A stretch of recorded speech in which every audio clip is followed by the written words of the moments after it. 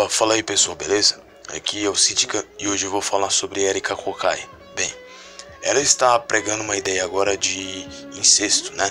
E o incesto, ele tem um grande problema, cara, que ela está apresentando uma coisa que pode dar problema na própria genética da pessoa e pode abrir as portas para pedofilia, cara. Então eu vejo isso como crime, mas mesmo sendo minarquista, eu começo a pensar alguma coisa, cara, porque é, estamos regredindo praticamente, cara, e não evoluindo. Estamos voltando para a pré-história.